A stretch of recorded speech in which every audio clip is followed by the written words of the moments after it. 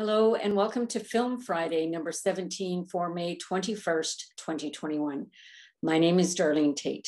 Just a reminder, if you like these updates, please hit like and subscribe down below. Today, we'll look at local film news along with some Leo Award nominations and the Short Circuit Film Festival, along with the Cinespark pitch competition, which all took place last night and then we'll take a look at the Pacific Opera offering of two productions that were filmed by the amazing talent that is David Malysheff. They are available for viewing free tonight at 7.30, and we'll talk about them a little more shortly. And finally, we'll spend some time chatting with Arnold Lim, a well-known filmmaker and photojournalist from our area. In studio production news, we have Rise and Shine Benedict Stone by Front Street Pictures. Now, the book is set in a quaint English village and revolves around Benedict Stone, who is a mild mannered, risk averse jewelry maker. After his wife leaves him, his plucky 16 year old niece, Gemma, shows up in his life and helps him become more creative. But there are secrets. Again, this synopsis is about the book, and we have yet to see how closely the screenplay follows it. It will be filming in this region. According to some production list sites, we are expecting to see some scenes from the Netflix horror The Last Will and Testament of Charles Abernathy, filmed here.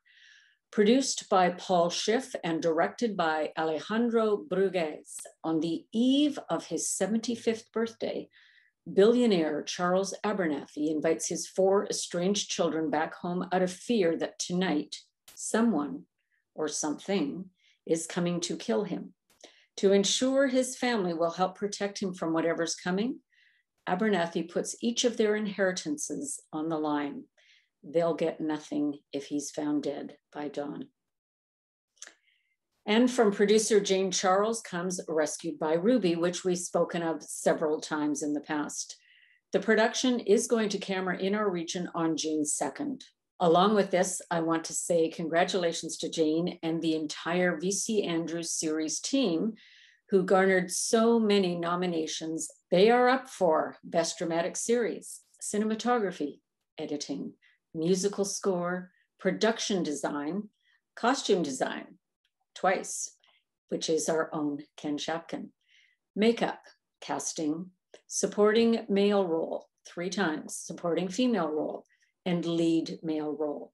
So we have no date yet on when the Leos will take place, but I'm betting the entire VC Andrews series team will be watching. In other Leo Award news, three local short films have also been nominated, including Lucid, which is up for four awards, including Best Short Film, with direction by Deanna Milligan, cinematography by Ramsey Fendel, and musical score by Marta Jakubiec McKeever. Lucid was also the winner of the Cinespark Pitch Competition in 2019, and you can watch it right now at the Short Circuit Film Festival. Links will be provided. Another local favorite, Babalu by Jim Knox, is up for Best Musical Score in a Short Film and nominated is Matthew Rogers. And the recent winner of Best BC Film at the Cinevic Short Circuit Film Festival, Alone in the Arctic Skies, is up for Best Sound by Noah Meyer. While I know a lot of people, I don't know everyone. So if you are aware of any productions or individuals who have been given a Leo nod this year, please pop me an email to filmfriday at darlenetait.com so we can cheer them on.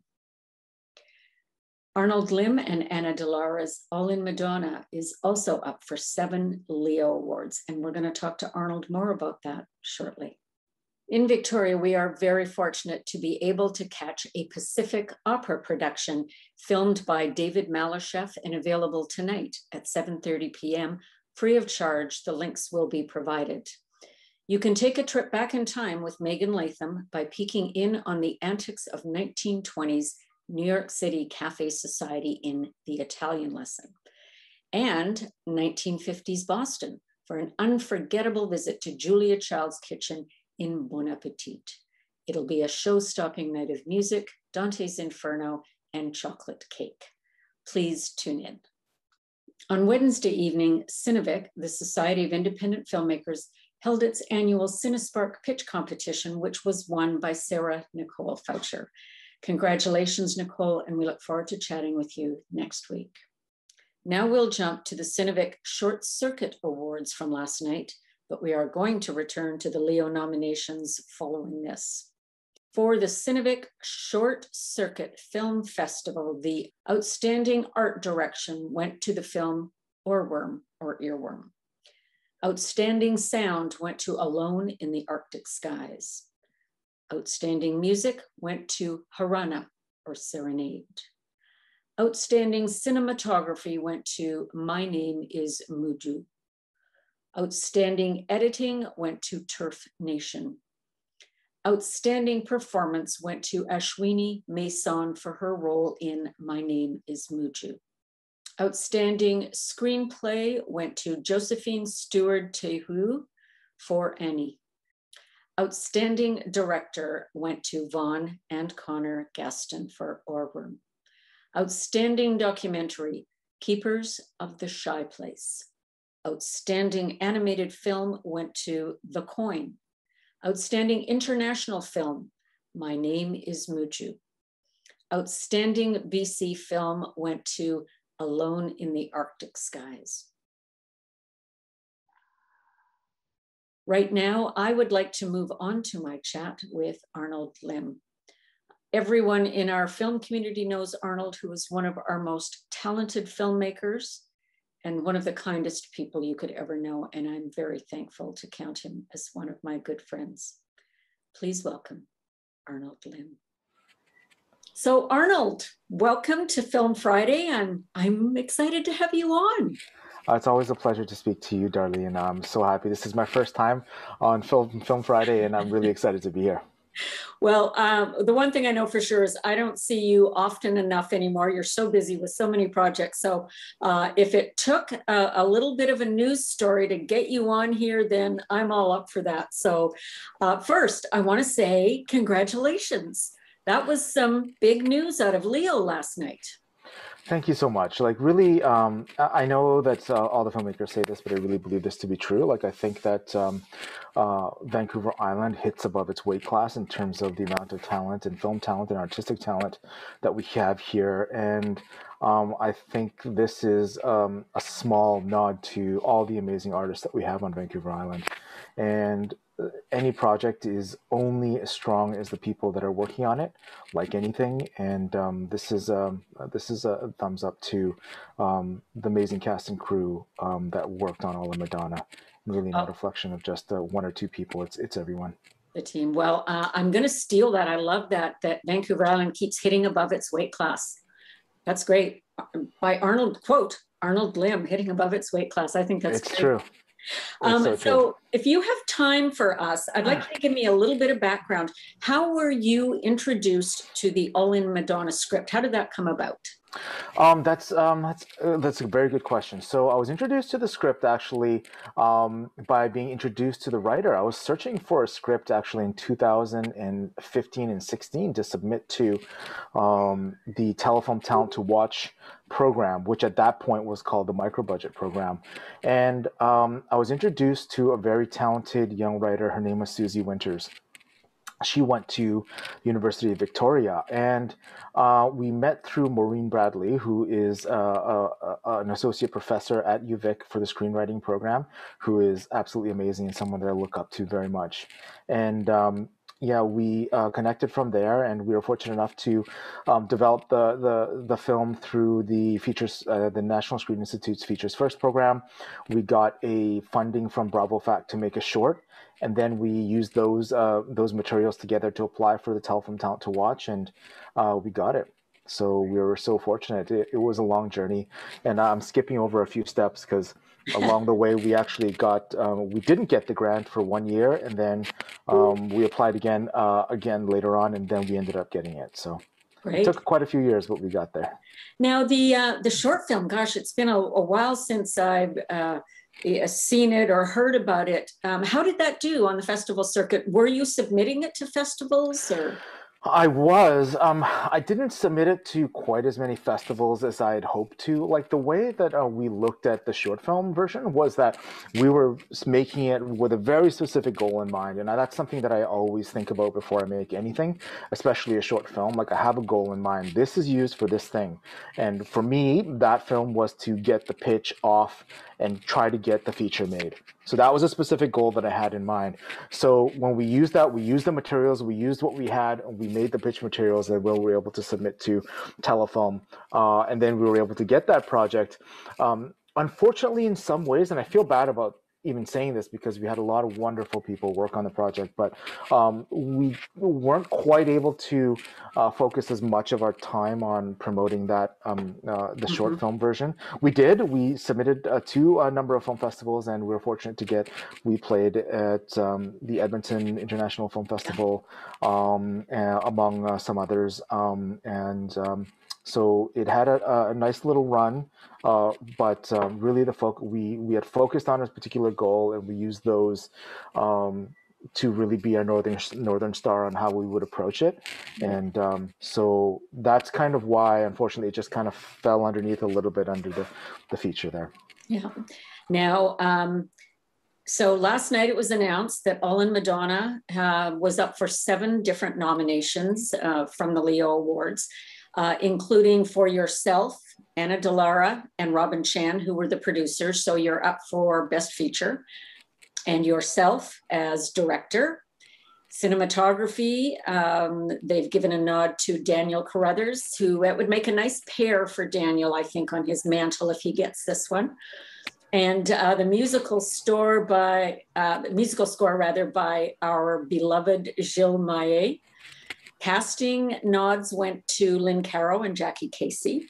Supporting performance to Melanie Rose Wilson, who was amazing, as was your um, uh, lead female actress, Celine Stubel, who we all adore. So, seven. I mean, the last time I think I saw seven nominations going to one film on the island, you can correct me if I if you remember, was The Devout.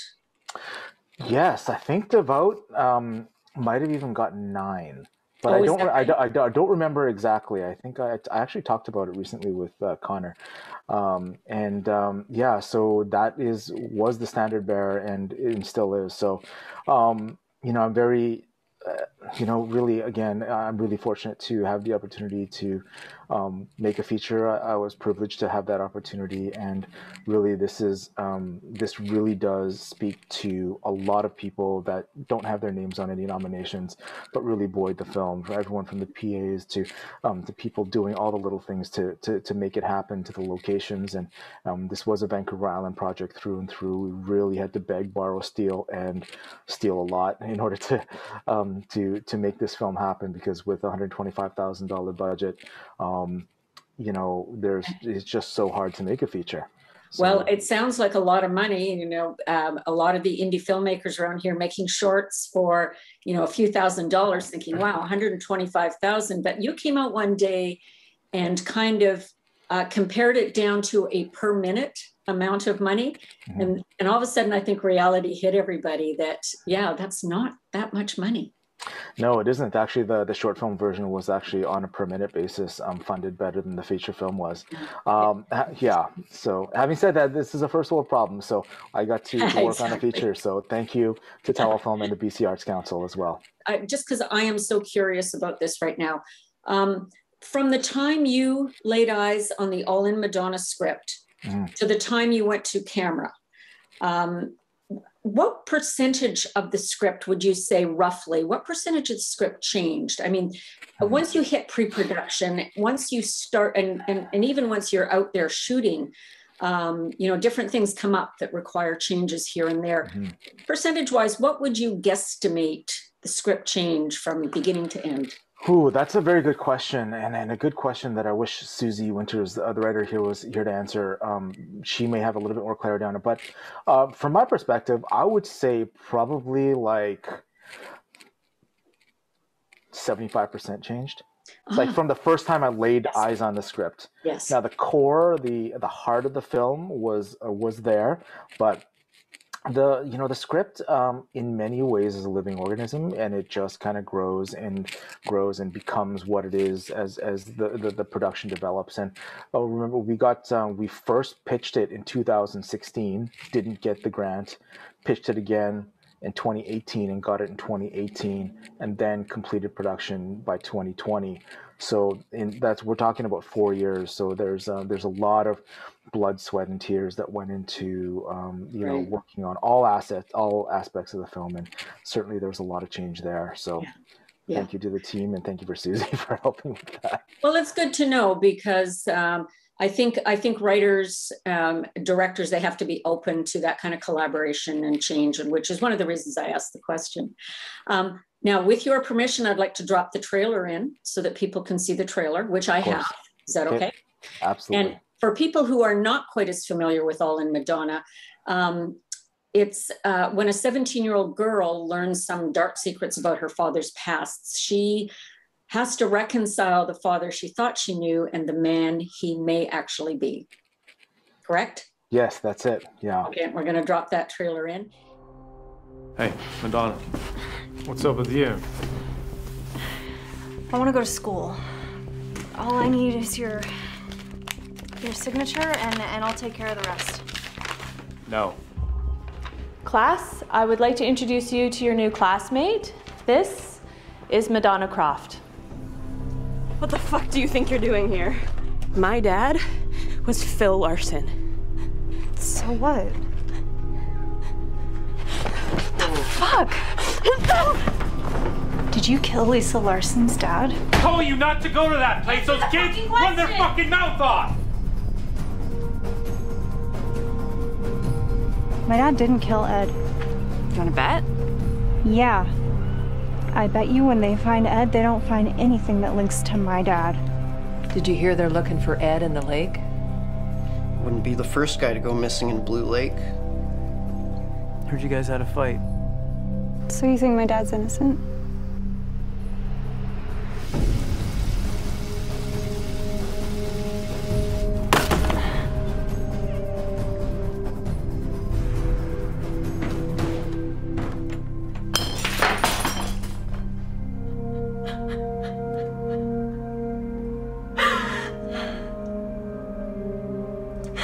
Look, Maddie, do you think I could really kill someone?